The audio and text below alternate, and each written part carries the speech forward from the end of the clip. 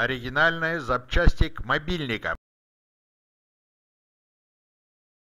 Вот кадры, которые мы получили несколько минут назад. Владимир Путин встречает Рождество в сельском храме Покрова Пресвятой Богородицы в селе Отрадном под Воронежем.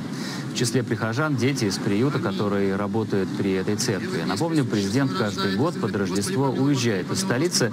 Как правило, на праздничную службу он приходит в небольшие сельские церкви. Правда, исключением стали прошлые и позапрошлые годы, когда глава государства был в Сочи.